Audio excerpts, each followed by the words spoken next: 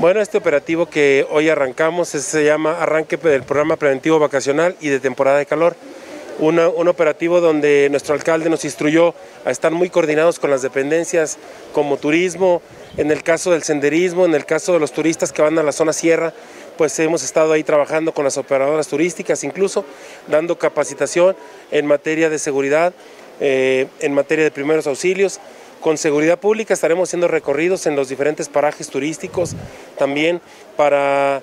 exhortar a la gente a guardar su sana distancia, a guardar las medidas de seguridad, porque estamos revisando no solamente la seguridad eh, en sí de la vida, sino también en el tema de los contagios COVID. Entonces, en esos dos sentidos estamos revisando a la gente que use su cubrebocas cuando no está consumiendo alimentos, que guarden su sana distancia,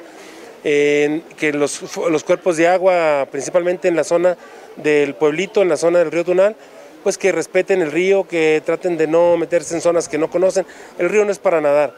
Primero, eh, si quieren nadar, si quieren estar en las aguas, visiten los balnearios de nuestra ciudad. Acabamos de revisar ya también los balnearios, cada uno de ellos estuvimos revisando las medidas de seguridad,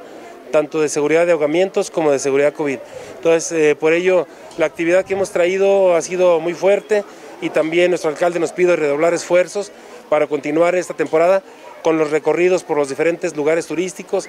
centros ecoturísticos, eh, balnearios, albercas públicas y algunos parajes que son muy visitados por la gente. Aquí estaremos nosotros con paramédicos, con rescatistas verticales, con rescate acuático, también con el escuadrón de materiales peligrosos sobre la supercarretera Durango-Mazatlán, donde transporta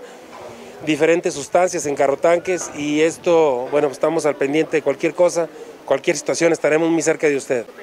hasta que termine la temporada vacacional. Claro que este, este operativo es, eh, es, un operativo donde eh, el plan se adecuará según el semáforo epidemiológico, ¿no? Dependemos de, de lo que nos diga el Estado y la Federación y bueno, se adecua nuestro plan a cualquier situación que pueda pasar.